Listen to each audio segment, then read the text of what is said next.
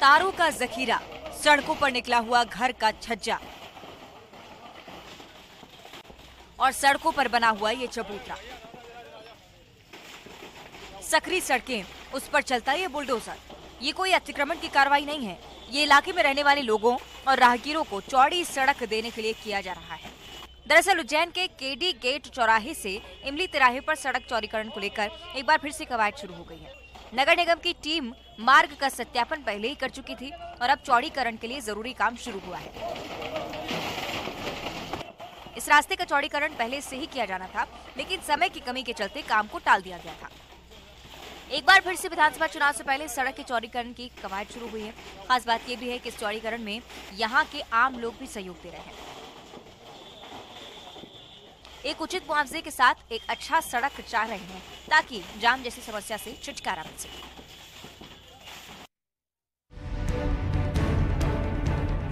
Car के उड़े पर खच्चे। ये कोई सड़क हादसे की तस्वीर नहीं है, बल्कि ये तस्वीर गोलीबारी की है। आप सोच रहे होंगे कि आखिर कार क्षतिग्रस्त है तो फिर गोलीबारी कैसी? कार के शीशे पर लगे इस निशान को देखिए। दरअसल मामला नर्मदापुरम का है यहाँ होमगार्ड ऑफ़िस के बाहर पुरानी रंजिश में गोलीबारी जैसी वारदात देखने मिलती है।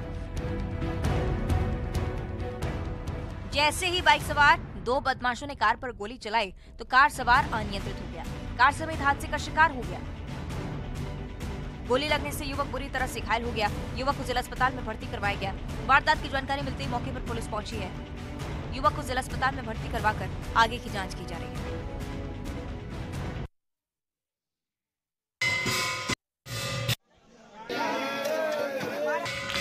हम आप जब बीमार होते हैं तो भगवान को याद करते हैं। सोचिए, अगर भगवान ही बीमार हो जाएँ तो क्या हो? कुछ ऐसा ही हुआ। भगवान बीमार हो गए भगवान की बीमारी दूर करने के लिए आयुर्वेदिक औषधि देकर उनका उपचार किया जा रहा है। दरअसल आचार्यों के मुताबिक ज्येष्ठ पूर्णिमा के पंद्रह दिन का समय ऋतु के संधि काल का होता है, जिसमें स्वास्थ्य संबंधी समस्याएँ होती हैं और भगवान बीमार होकर भक्तों को इस मौसम में स्वास्थ्य संबंधी परहेज बरतने का संदेश देने के लिए बीमार होते हैं। पौराणिक मान्यताओं के अनुसार भगवान अपने भक्त माधव दास के लिए भी बीमार होते हैं। यह पंद्रह दिन वह अपने भक्त के कष्ट अपने ऊपर ले लेते हैं। इसलिए पूर्णिमा पर उन्हें स्नान कराकर पंद्रह दिन तक आयुर्वेद उपचार दिया जाता है। इसके पूर्व पूर्णिमा पर भगवान जगन्नाथ जी का महाभिषेक स्नान कराया गया।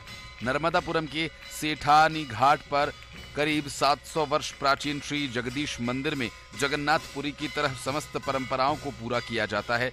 इसी क्रम में भगवान जगन्नाथ, भाई बलभद्र और देवी सुभद्रा के विग्रह को गर्भ गर्भगृह से निकालकर सहस्त्र जलधारा, दूध, दही, घी, शहद सहित 21 विधि से महास्नान कराया गया।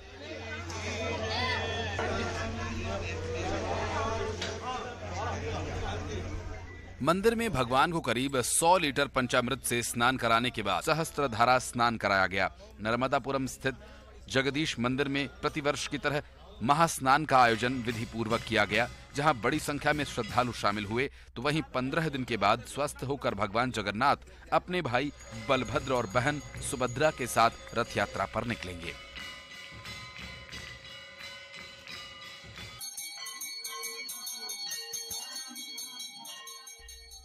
वहीं अब नर्मदापुरम के बाद पन्ना में भी यही हाल है। भगवान यहाँ भी बीमार पड़ गए। दुनिया के पालनहार भगवान खुद भी कभी बीमार पड़ गए हैं। भगवान जगन्नाथ स्वामी जी प्राचीन मंदिर यहाँ पर है, जहाँ भगवान जगन्नाथ स्वामी अपनी बहन सुभद्रा, भाई बलभद्र के साथ विराजमान हैं। मंदिर में नगरी पन्ना में भगवान जगन्नाथ स्वामी जी मंदिर में रथ यात्रा का कार्यक्रम बड़े धूमधाम, हर्षोल्लास के साथ 150 वर्ष पहले से मनाने की परंपरा चली आ रही है। लेकिन रथ यात्रा के पहले भगवान को लू लग जाने से वे बीमार पड़ जाते हैं। भगवान जगन्नाथ स्वामी जी को धूप में स्नान कराने से लू लग जाती है। जिसके चलते वे बीमार हो गए। भगवान जगन्नाथ स्वामी मंदिर में आज के दिन सुबह राज परिवार की उपस्थिति में भगवान को स्नान यात्रा की रस्म अदायगी की गई।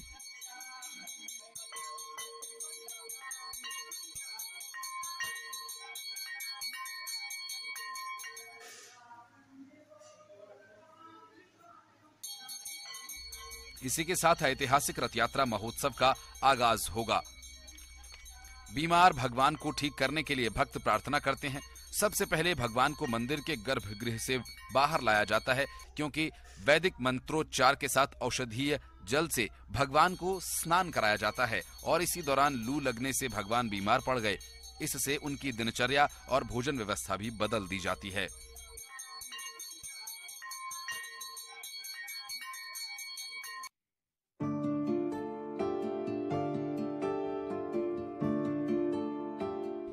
पंडित धीरेन्द्र कृष्ण शास्त्री की, जो आजकल काफ़ी सुर्खियों में रहते हैं। कभी मोर के साथ नाचते नज़र आते हैं तो कभी अपने बयानों से चर्चाओं में रहते हैं। अब नई तस्वीर सामने आई है, जिसमें उनका अलग अंदाज नज़र आया।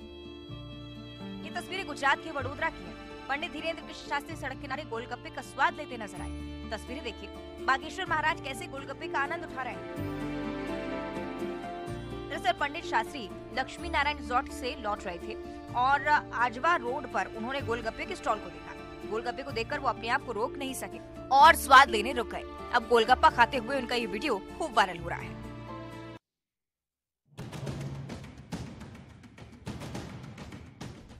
ये दर्दनाक हादसा। इस हादसे की कहानी सुनकर रोम रोम सिहर जाएगा।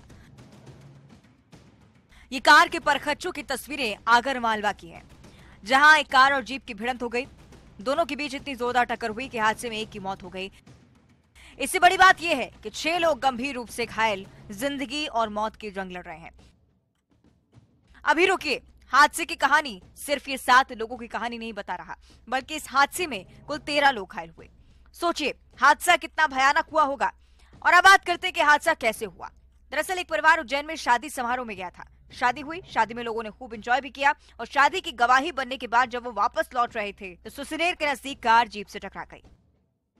हादसे में कार के परखट चोट गए। चीख पुकार मच गई। मौके पर एक व्यक्ति इस दुनिया को छोड़कर चला गया।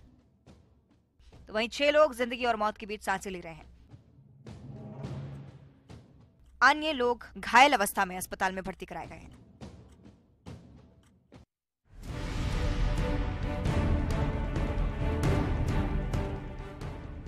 अब नर्मदापुरम से भी लव जिहाद जैसा मामला सामने आया है। एक मुस्लिम युवक ने एक हिंदू लड़की को अपने प्यार के जाल में फंसाया। शादी करने का लालच देकर करीब एक साल तक शारीरिक शोषण करता रहा। पीड़िता ने शादी के लिए दबाव बनाया तो युवक मुकर गया। इसके बाद युवती कोतवाली थाने पहुँची, जहाँ उसकी शिकायत पर एफआईआर दर्ज कर पुलिस ने आरोपी युवक को गिरफ़्तार कर लिया। पुलिस ने बताया कि मालाखेड़ी निवासी मुबीन खान मजदूरी का काम करता है। पीड़िता की सहेली के ज़रिए उससे दोस्ती की और शादी के सपने दिखाकर उसे अपने प्रेम जाल में फंसा लिया। करीब एक साल से आरोपी पीड़िता को शादी का झांसा दे रहा था।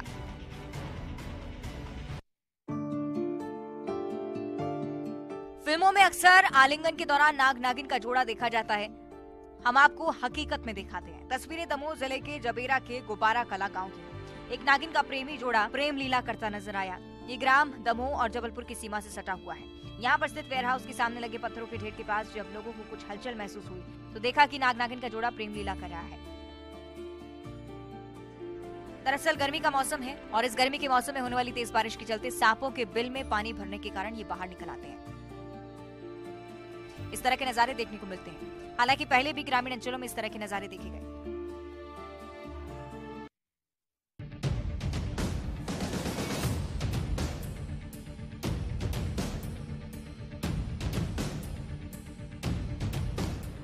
पहले आप झोपड़ी में चल रहे इस क्लिनिक को देख लीजिए। फिर हम उस डॉक्टर का नाम भी बताएँगे, जो इसे चलाता है। अब जरा इन डॉक्टर से भी मिल लीजिए। नाम, सोहन इरपाचे। शिक्षा, बारहवीं पास। पेशा, एलोपैथी डॉक्टर का। इस क्लिनिक में एलोपैथी दवाओं का अच्छा खासा स्टॉक भरा हुआ है, और मरीजों को खटिया पर भर्ती करने की सुविधा भी है। लेकिन इलाज के बाद मरीज़ की जान के साथ क्या हो सकता है, ये इस अस्पताल और डॉक्टर के क्वालिफिकेशन से समझ लीजिए, जो बड़े ही कॉन्फिडेंस के साथ अपनी योग्यता और प्रैक्टिस के बारे में जानकारी दे रहा है। केवल बैतूल ज़िले में ही झोला छाप मुन्ना भाई टाइप के सैकड़ों डॉक्टर खरपतवार की तरह फैले हैं। प्रदेश में ये आंकड़ा हज़ारों में हो सकता है। स्वास्थ्य सेवाओं के तमाम सरकारी दावों के बीच खुलेआम लोगों की जान से खिलवाड़ करते ये दसवीं, बारहवीं पास डॉक्टर यमराज से कम नहीं है। लेकिन इनके साथ ही सिस्टम भी जिम्मेदार है, जो इस खरपतवार का सफाया करने की बजाय मूक दर्शक बने तमाशा देख रहा है।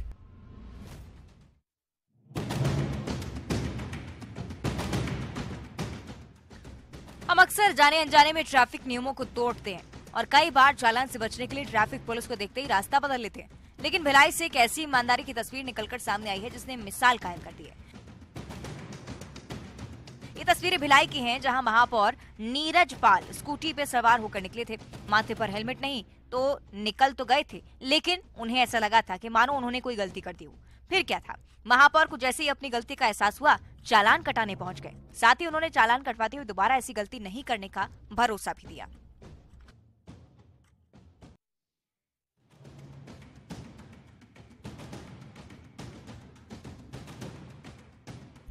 वैसे तो जून के महीने में बारिश ज़मीन को भिगो देती है।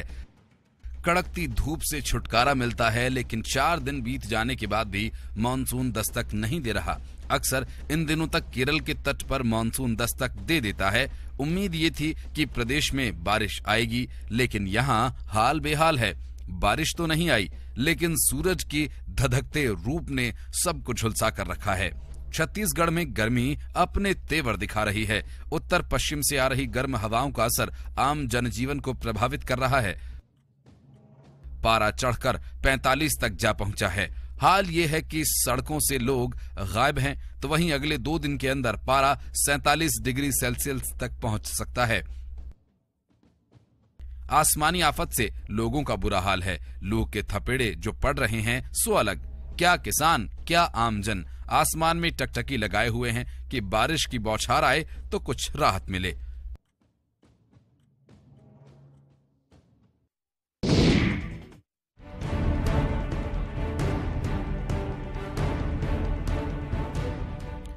खेल हमारे जीवन का एक आवश्यक हिस्सा है। खेल शरीर को स्वस्थ, दिमाग को तेज बनाए रखने के लिए एक महत्वपूर्ण क्रिया है। खेल जिसे हम खेलने बड़ी बड़ी प्रतिस्पर्धा में जाते हैं, लेकिन इस खेल के लिए बहुत सारी बातें ज़रूरी होती हैं, जिनमें से एक ग्राउंड भी है।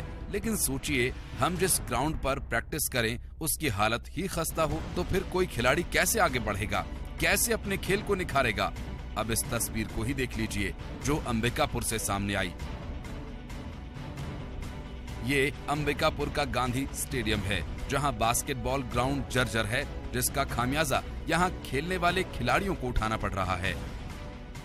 मैदान जर्जर होने की वजह से बच्चे खेलने के दौरान जख्मी हो रहे हैं, जिससे कई बच्चों का खेलना भी बंद हो गया।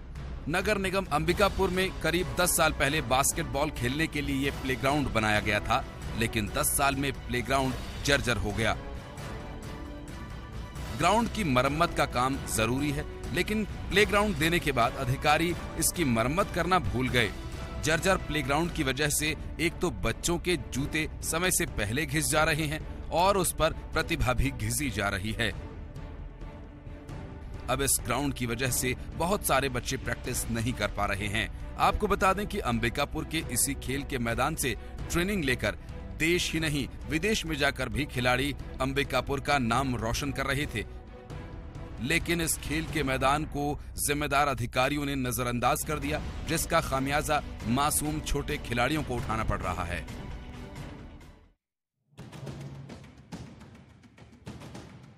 प्रदेश में बदमाशों को न पुलिस का खौफ है, न कानून का। तभी तो आए दिन किसी न किसी वारदात को अंजाम देते हैं। अब एक ऐसे ही वारदात की तस्वीर सामने आई, जहाँ राजधानी के सुंदर नगर में एक शख्स के साथ मारपीट कर अगवा किए जाने का सीसीटीवी वीडियो सामने आया। वीडियो में आप देख सकते हैं कि चार आरोपी दुकान से अपहरण करते हुए दिखाई दे रहे हैं। अपहरणकर्ता करीब चार घंटे बाद उस शख्स को कवर्धा ज़िले में कार से फेंककर फरार हो गए। पीड़ित शख्स इंटीरियर डिज़ाइनर है। युवक के पिता एनटीपीसी में कार्यरत हैं, जहाँ वे चुनाव में दावेदारी कर रहे हैं। शख्स के अनुसार, अपहरणकर्ताओं ने पहले उसके साथ मारपीट की। उसके पिता को चुनाव में दावेदारी नहीं करने की धमकी दी। इधर, पुलिस रात में घटनास्थल के आसपास लगे सीसीटीवी कैमराज को कंगालने में जुटी है। अपहरणकर्ताओं को पकड़ने के लिए पुलिस पूरे शहर में नाकेबंदी कर देर रात तक जुटी रही। तस्वीरों में आप देख सकते हैं कि सफ़ेद रंग की इनोवा कार से चार पाँच बदमाश आए। उन्होंने पहले उसकी खूब पिटाई की, इसके बाद जबरन कार में बैठाकर अपने साथ ले गए। वहीं पुलिस अपहरणकर्ताओं की तलाश में दिल्ली, उड़ीसा, झारखंड और उत्तर प्रदेश के लिए टीम बनाकर रवाना हो चुकी है।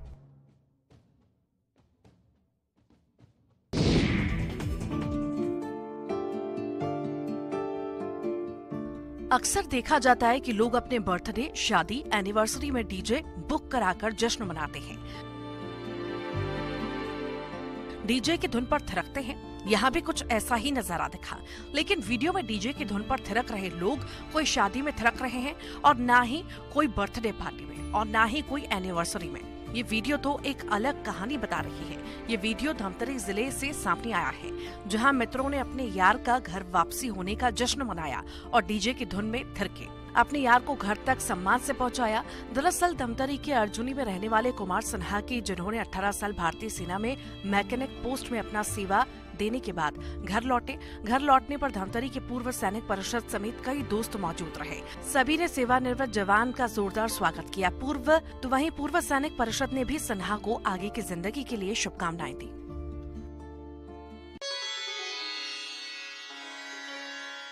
अगर आपको भोलेनाथ दर्शन दे दें तो सोचिए आप धन्य हो जाएँगे ना। खंडवा के लोगों को भगवान शिव ने दर्शन दिया है। भगवान शिव को देखने के लिए आसपास के गाँव के कई लोग पहुँचे। दरअसल खंडवा में कुएँ की खुदाई चल रही थी, तभी अचानक खुदाई के दौरान शिवलिंग निकला। ये तस्वीरें पिपलौद क्षेत्र के ग्राम पंचायत बरार की हैं। जहाँ देख सकते हैं कि खुदाई के दौरान शिवलिंग निकला, जिसके बाद हज़ारों लोग अब तक उनके दर्शन के लिए पहुँचे हैं। वहीं कुएँ के बगल में शिवलिंग को स्थापित किया गया। इस दौरान और भी कई सारी मूर्तियाँ निकली हैं, जिसके बाद ग्राम पंचायत सचिव ने कलेक्टर को सूचना दी। वहीं मौके पर पुरातत्व विभाग को भी सूचित किया गया। पुरातत्व विभाग शिवलिंग किस सदी की है, इसकी जानकारी जुटा रहा है।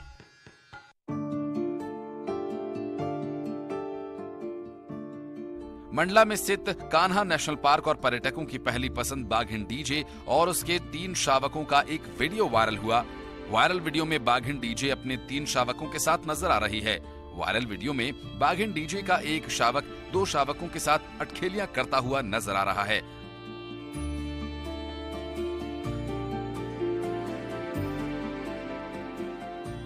वायरल वीडियो में आप देख सकते हैं कि एक शावक दूसरे शावकों के साथ मस्ती कर रहा है।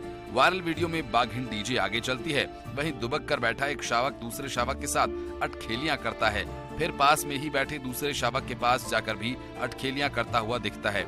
फिर तीन शावक अपनी माँ डीजे के पीछे पीछे चल देते हैं।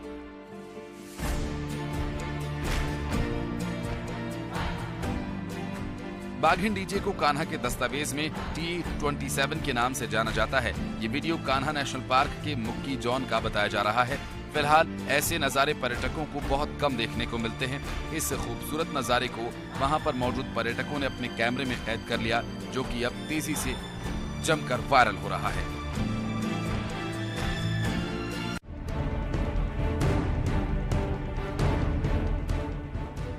पौधे, जंगल, ये अगर ना हो तो पर्यावरण में कितना बुरा प्रभाव पड़ता है, ये आप सभी जानते होंगे। पेड़ पौधे से ही जंगल बनता है। ऐसे में जब पेड़ पौधे काट दिए जाएँ तो क्या होगा? मामला अंबिकापुर का है, जहाँ सीतापुर वन परिक्षेत्र के ललितपुर से लगे घने जंगल के बीच तालाब बनाने ठेकेदार ने वन विभाग की मिली भगत से बिना अनुमति सैकड़ों पेड़ काट दिए। दो दिन तक कटाई और पेड़ों को जड़ से उखाड़ने का ये काम चलता रहा। ग्रामीणों के विरोध के बाद पेड़ों की कटाई तो बंद कर दी गई, लेकिन पूरे मामले के लिए सिर्फ़ वन रक्षक को जिम्मेदार ठहराते हुए निलंबित कर दिया गया। वनपाल को नोटिस जारी किया गया है। जंगल में पोकलेन एक्सीवेटर मशीन से लेकर पेड़ों को काट दिया गया है। पेड़ों को उखाड़ा गया घने जंगल के बड़े हिस्से को वीरान कर दिया गया, लेकिन सिर्फ़ एक मैदानी कर्मचारी पर निलंबन की कार्रवाई कई सवालों को जन्म दे रही है।